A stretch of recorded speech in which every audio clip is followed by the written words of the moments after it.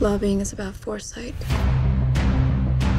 about anticipating your opponent's moves She's your enemy now. and devising countermeasures. How the hell did she manage that? You're a piece of work, Elizabeth. I was hired to win. I've used whatever resource I have. Who the hell does she think she is? There's over five million of us, and we're armed. Start an inquisition. The winner plots one step ahead of the opposition. They will throw you in jail for contempt of Congress. We have to make it personal. You know the word annihilate? It means reduced to nothing. This is more important than my career. It was mind-boggling, You crossed the line. ingenious, Bugging and tapping. and completely unbelievable. About making sure you surprise them.